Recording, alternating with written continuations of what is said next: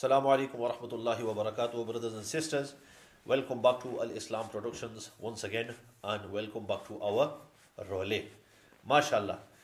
So, you've seen in our previous video, Maulana Osman Sahib proven to you, and he went through the evidence that Abu Lays as Zindiq holds onto this one statement of Imam Malik rahmatullahi from this book called Al Utbiyah that Abu uh, uh, Isa ibn Maryam alayhi salatu wasalam he has passed away and he's not going to come back. Well, it doesn't say that in the book, it just says he's passed away.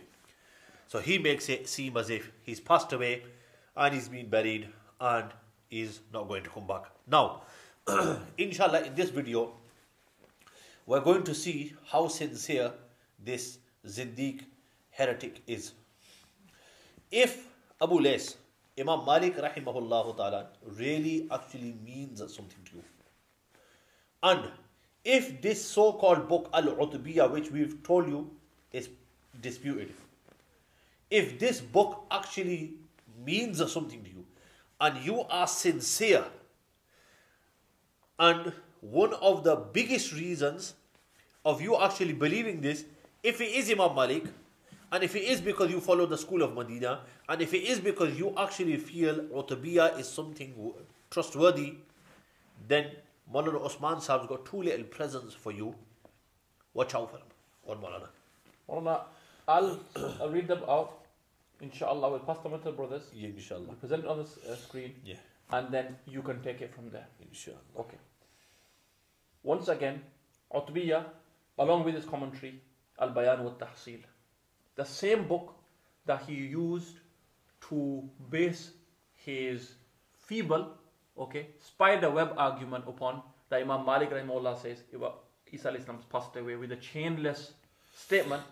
The same book in volume 3, okay, Al Bayan wa Tahsil, with the Utbiyah, okay, states, Mas'ala, قال Okay.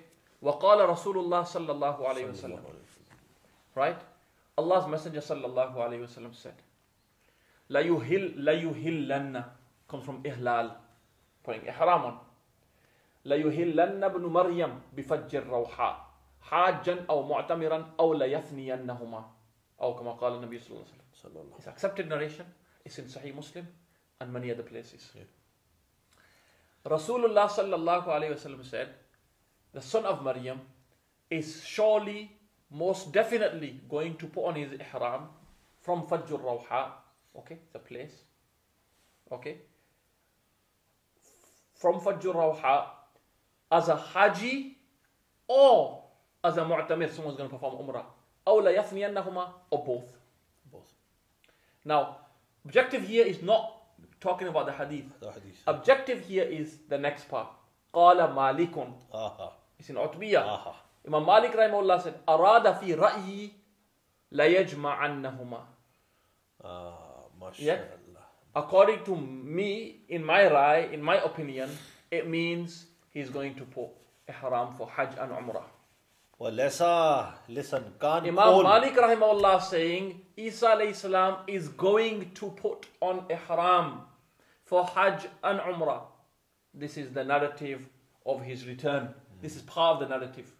So according to Nahiem Ajmal, Zindiq of Medina, uh, of uh, um, Birmingham. Birmingham, Birmingham. okay, who claims to follow the school of Medina Munawwara, right? This is a superhero narrative. He mocks it, he's ridiculed it, you know, he's he's insulted it. Yeah. It's the hadith of Rasulullah sallallahu alaihi wasallam. It's the opinion of Imam Malik, and then he says Imam Malik. So he is an enemy of Imam Malik rahimullah. Definitely. 100%. And Maulana, you know when you say that he's not Maliki, it hurts him. Yes, Abu Layth, Nahiem Ajmal, you are not a Maliki. Little boy, you are not a Maliki. You are naughty, naughty. You are not Maliki. You're being naughty. Call Malana. That's present number one. Yeah, present number one. Okay, and we'll present that. Ek hadiya ho gaya. Ek hadiya. Right. Present number two. Volume 18. Same book. Same book, yeah? Okay. Same book, same book. So, yeah. Mali, he's got the in it. Yeah It's في نزول عيسى بن مريم. about the return, the coming down of Isa bin Aye, Maryam. aye, salam. aye, aye. قال وسمعت مالكا يذكر narrator says okay if he says this is chainless where you took is chainless Yeah. if that's chainless and accepted and this is chainless must be accepted This must be accepted. it's as simple as that Fair and square, yeah. okay Fair and square. we didn't take this aqidah from here Yeah. okay and nor are we in in need of these statements 100%. we're presenting them because of your fake claim to being a maliki Yes. okay Fake. Absolutely. Say that one again. Say that again. fake claim of being a maliki Wallah, could you imagine imam malik seeing Yeah. this guy Allah ni qasam, he'll slap him on. Imam Malik can give you one thappad and he'll send you back to that nightclub that you came out of. Go on. okay Just say once more again. Fake. Tell him. fake maliki Fake. 100% fake Maliki.